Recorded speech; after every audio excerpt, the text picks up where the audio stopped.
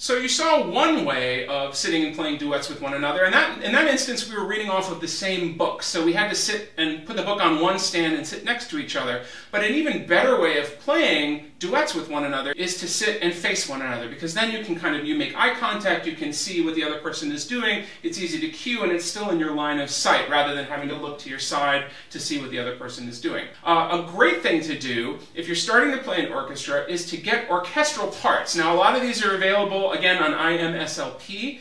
Um, and what I went ahead and did was I downloaded Mendelssohn's Fingal's Cave, the Hebrides Overture. Uh, and there's a great clarinet duet in this in the second, I guess, half of, uh, of the piece. This is a fairly short overture. And it's a really nice way to prepare yourself when you're going to be playing in an orchestra in a section. That'll give you an opportunity to learn the part, to learn where you fit in with the rest of your section, to tune with one another, and then you are totally solid when you get into the ensemble setting with a conductor in front of you.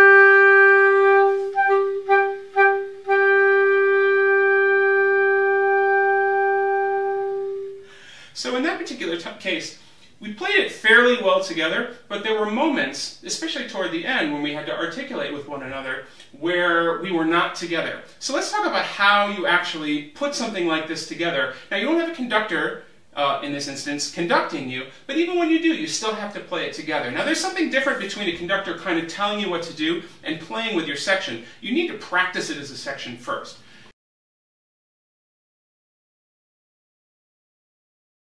So um, I'm going to give a little bit of a cue.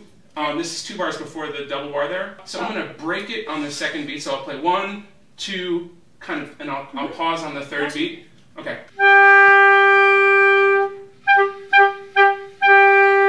So often the case is that um, the person who's giving the cue, in this case me, I come in a little bit early um, so part of that is because we haven't set up a real rhythm at this point. So sometimes it's a good idea for you to sort of move a bar back so that we set up our tempo so there's no, not really confusion. Because starting with a held note and then immediately trying to articulate those things is difficult. So let's go back one more bar.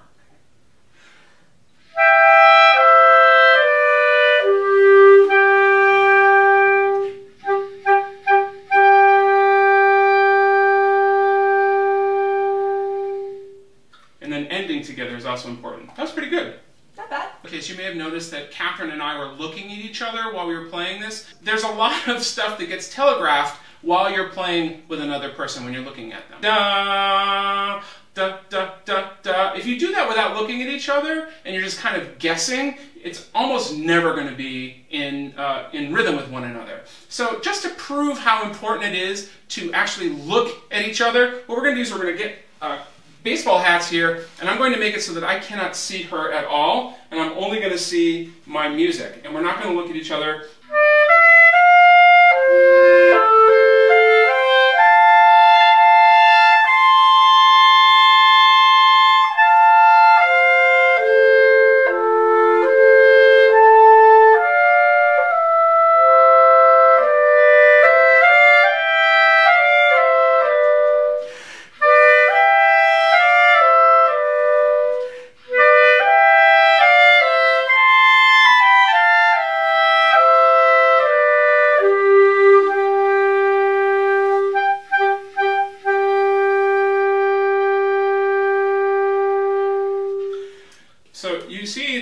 Difference, right? I mean, it may be subtle because we're used to playing this one, one another, but in reality, uh, being able to see one another when you're playing is super important.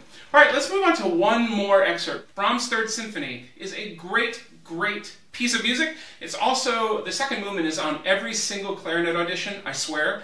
Um, but it also makes a really nice duo to play, section piece to play uh, with another player. Um, Now, unlike the Hebrides Overture, this is not a true duet uh, in the orchestra. The first clarinet is a solo part, the second clarinet supporting the first clarinet. So understanding that hierarchy, where the, the first clarinet will need to be a little bit louder than the second clarinet,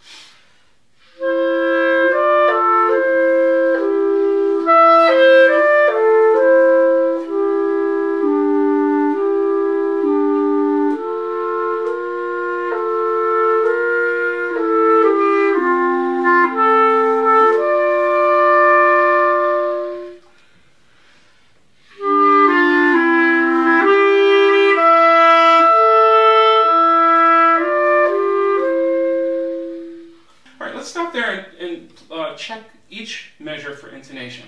Mm-hmm. And what we're going to do is we're going to listen and we're going to play it slowly. And we're going to stop when we hear something out of tune and figure out: Am I high on this note, you know, relative to uh, the second clarinet part's uh, note, etc. So let's let's go ahead and start there.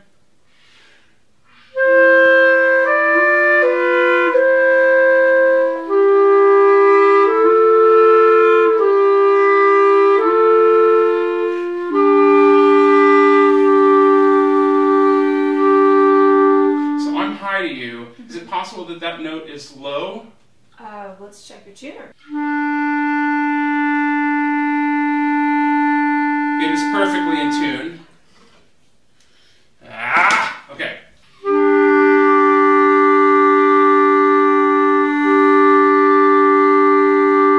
So I'm, I'm really, really sharp on that note. How about if I lift that note up to help you? Yeah, so you can do that or you can play a key, whatever that is, but it would be really awesome if, if you could do that. All right, let's see, this is the power of the second clarinet player. You can make the first clarinet player sound really bad or you can make them sound really good. Could, could you make me sound better than I am? let's try. Okay, from the beginning? Yeah, please.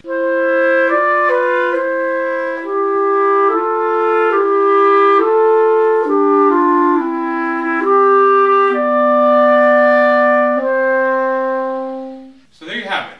Um, playing with another person, there is a lot of give and take.